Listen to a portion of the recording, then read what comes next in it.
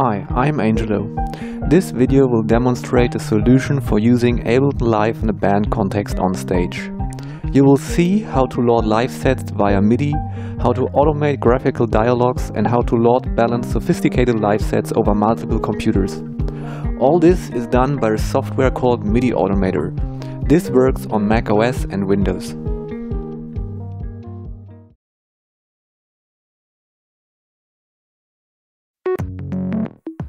Let's assume you want to prepare a setlist for your next gig.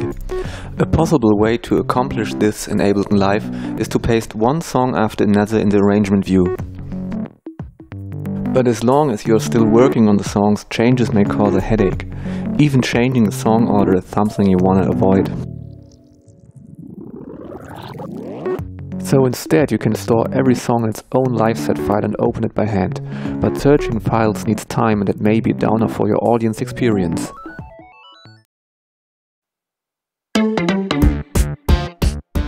The idea is to have a tool that works like a digital set list. Songs shall be opened by just clicking an entry of the list. For opening the next or previous song it shall provide big buttons that can be easily hit on stage. But the best way would be to control the tool from a MIDI device, the same way like Ableton Live.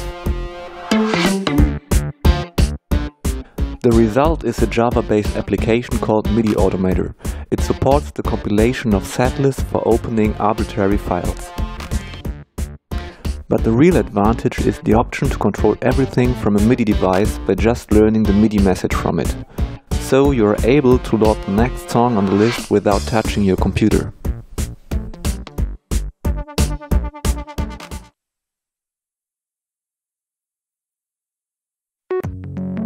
With this approach you might encounter some other problems. If you try to load a file on Ableton Live while another song is playing, Live will ask you to stop the song before loading a new one. To solve this, you can tell the MIDI automator to send a predefined MIDI message whenever a file is opened. That message can be learned by Ableton Live's stop button.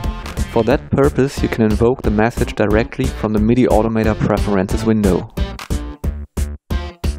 From now on a playing song will be automatically stopped before a new one is loaded.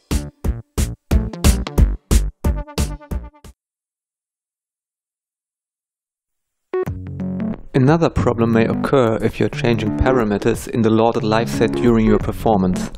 Live will then ask you to save your changes before loading a new song. The solution is a bit maverick but works like a charm. First make a screenshot of the Do Not Save button from the dialog. Then add a new mouse automation in the MIDI Automator's preferences and load the screenshot. Next choose left click as type and always as trigger. The automation could also be triggered from a MIDI device.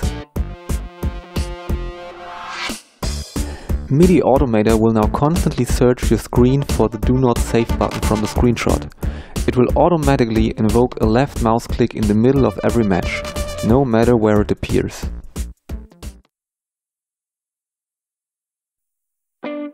For this scenario I connected two computers via MIDI. One computer is a MacBook Pro, the other is a virtual Windows machine. Each has its own hardware MIDI interface. The MIDI automator on Macintosh will be configured as master by assigning an outbound MIDI interface.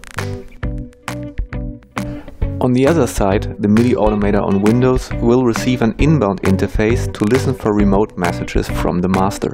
It shall also autonomously click on EXT to sync Ableton Live with the Macintosh. So when the master opens a file, it will send the index number to the MIDI bus. Every connected slave will listen for that message and open the file stored at the index. In this example, the MIDI Automator slave on Windows is now preparing a synchronized live set that runs parallel to the live set on Macintosh, all without touching the Windows machine.